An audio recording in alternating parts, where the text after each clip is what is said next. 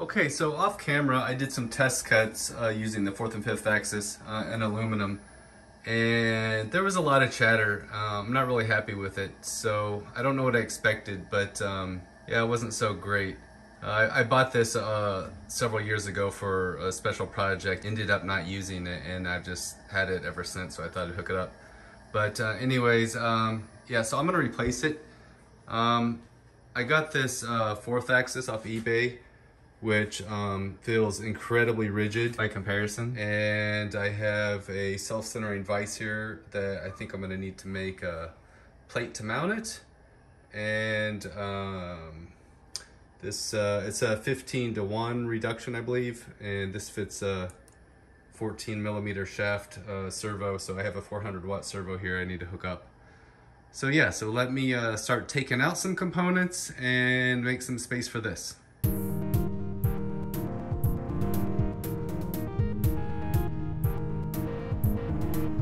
I guess first thing I'm to do is uh, get this uh, servo motor connected. So this should go right here.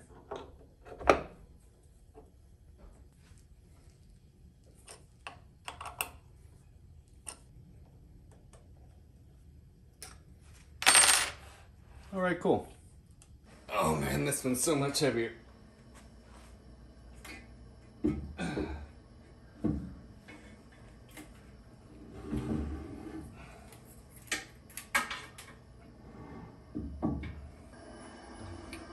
Okay, these uh, mounting slots uh, actually happen to line up perfectly. I got some longer bolts and I think for now I'm just gonna get it as square as I can with this and then I'll use a dial indicator later.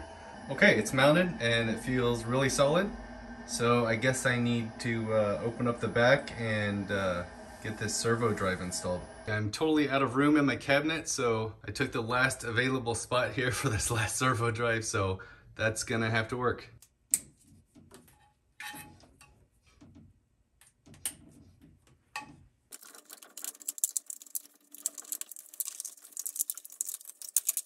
Okay, servo drive's all wired up, so I just need to set a couple parameters and we should be good to go.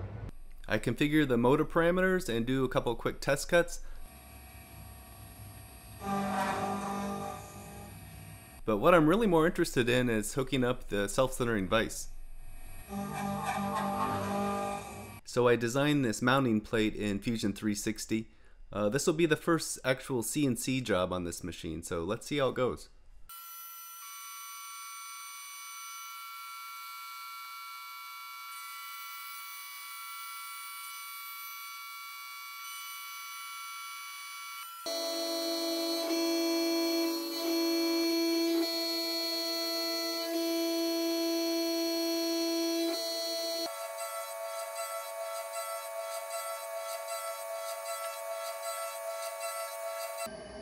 Alright, so far so good.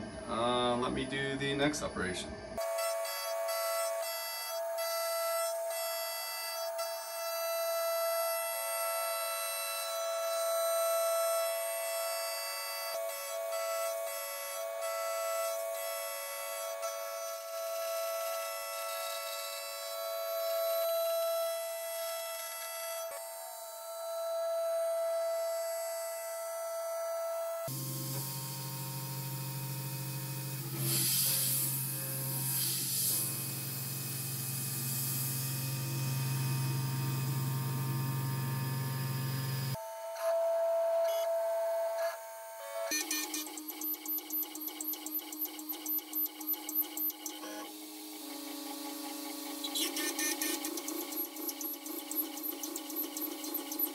Side one is done. So now I need to flip it over and take off all that extra material so I can do uh, and bring it down to size then I can do uh, one operation on the second side. Alright I've got the part flipped over and now I'm gonna face it off here and bring it down to length.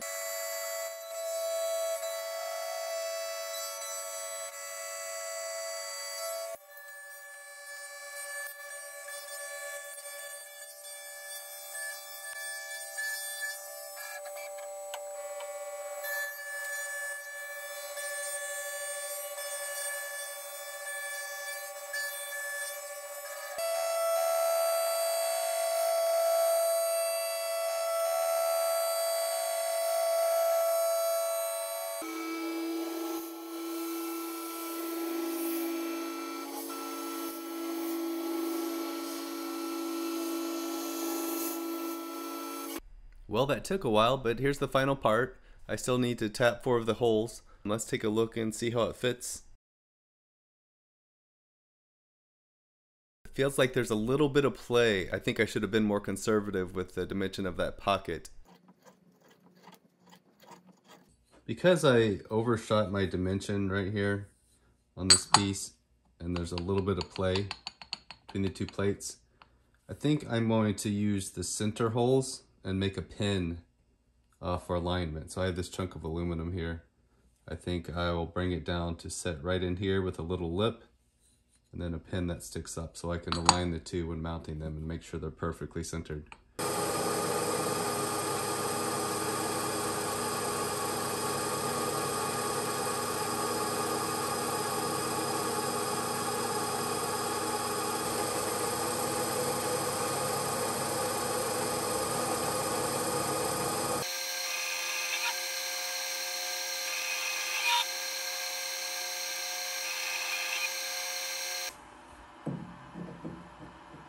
Ooh, we were just there. Alright, good. There's no play at all. Alright, cool. Let's flip this around and make the pin for the other side.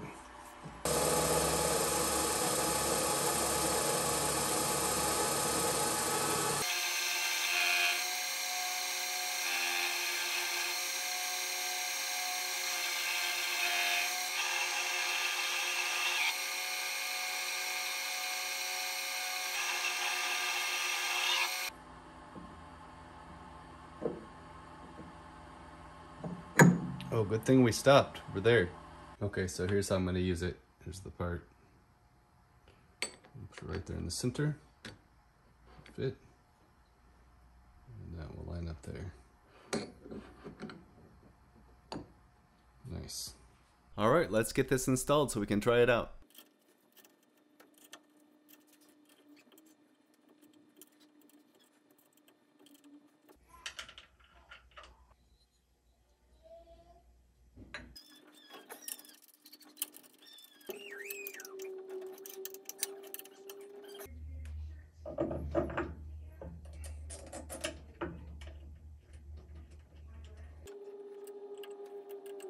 All right, it's mounted.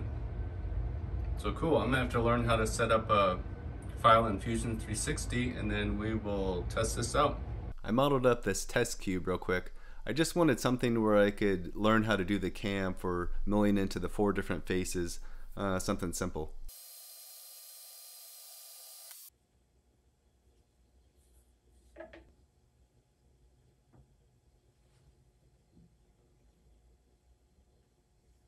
Alright, I've got the stock loaded and roughly centered and roughly square to the vise. I need to get this uh, workpiece leveled. Um, I should use a dial indicator, but since this is just a test piece and I'm going to be facing everything, I'm just going to use a level here and see if I can get it close.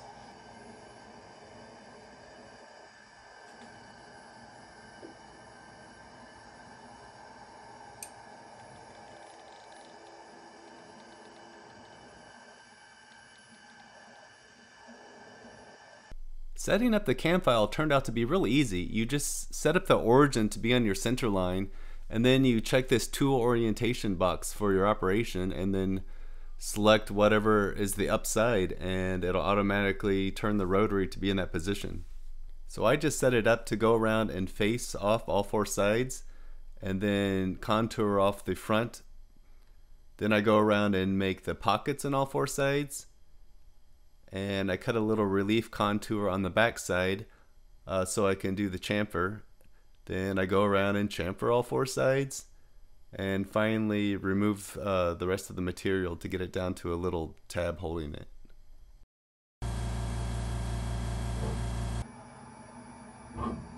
All right, uh, I think it's all ready. Let's run this and see what happens.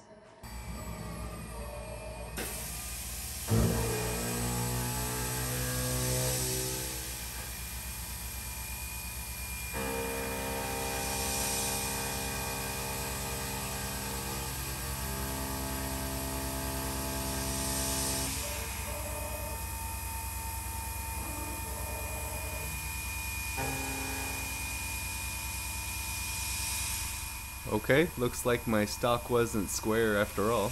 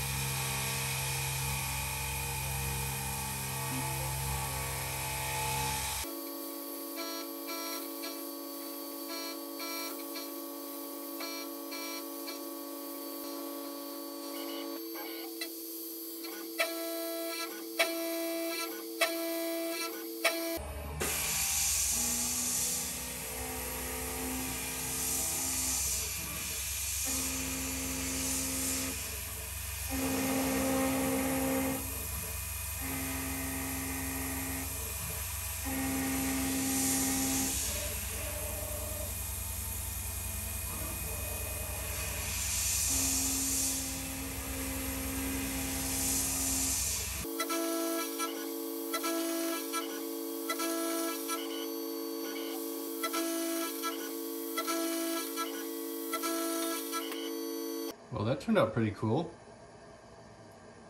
The surface finish isn't actually that bad considering all the amount of stick out ahead.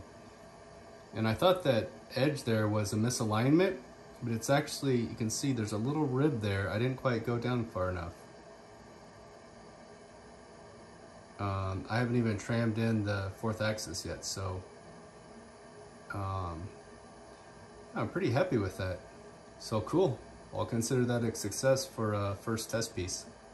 All right, well, since I had four sides, I had to go ahead and finish the other two. Yeah, that was really fun. Uh, cool learning experience, and I'm super excited uh, that I can use this fourth axis now. Uh, it, wor it worked really awesome, uh, better than I was expecting and fairly easy to set up the files too. As a side note, I'd really like to try out the continuous rotational cutting cam part of Fusion 360. Um, I already pay for Fusion 360, but uh, as a hobbyist, I can't justify the cost of this add-on extension. Um, so if anybody knows of any other uh, cheaper cam software that does this, uh, please let me know in the comments. I'd appreciate it.